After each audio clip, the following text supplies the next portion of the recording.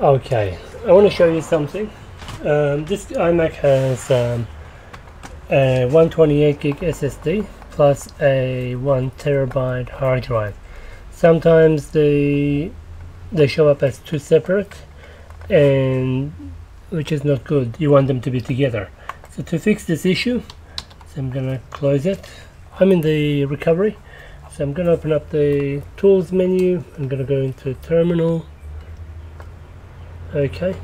So in that box I'm gonna type in see if I can make that bigger. Yep. Uh, disk util reset fusion. And you press yes and continue. Capital Y yes here we go.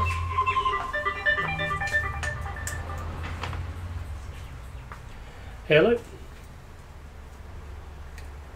Hello? Hey, yes, yes.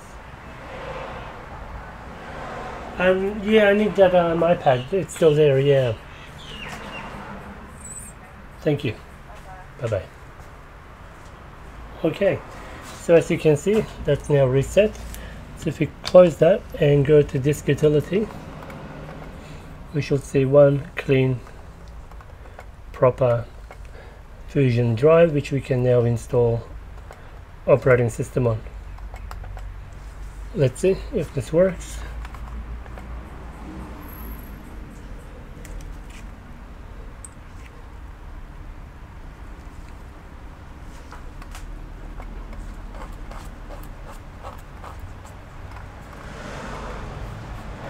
Great, as we can see 1.12 terabyte, meaning it's picked up the difference, the combination of 1 terabyte and the SSD together.